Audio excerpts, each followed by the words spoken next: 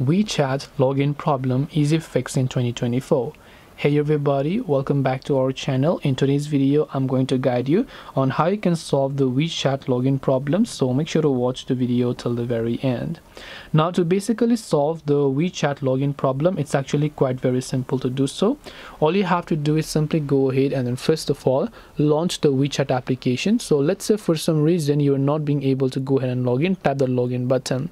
WeChat works based on your phone number. So the very first thing you want to make sure is that you simply enter a phone number that is correct and that you have access to. So just go ahead and then make sure to enter the phone number that you have access to then tap on accept and continue button. Then after that you will be able to log in by simply receiving a verification code.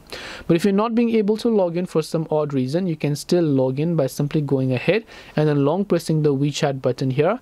Tap the i button to come to the app info page.